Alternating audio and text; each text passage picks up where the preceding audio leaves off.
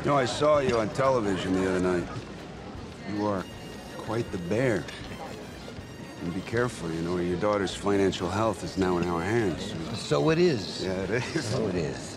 But your firm knows subprimes are crap. And the way you keep buying and Murray's insurance swaps uh, lately, I mean, I gotta worry about my grandchildren's college education. You like insurance. What's not to like? Easy selling crack to kids in a school playground. A credit default swap is a good idea. It's the execution that isn't. Well, you know what they say.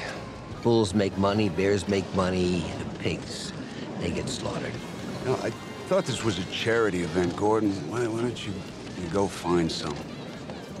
I tell you what, I'll make you a deal, Bretton. You stop telling lies about me, I'll stop telling the truth about you.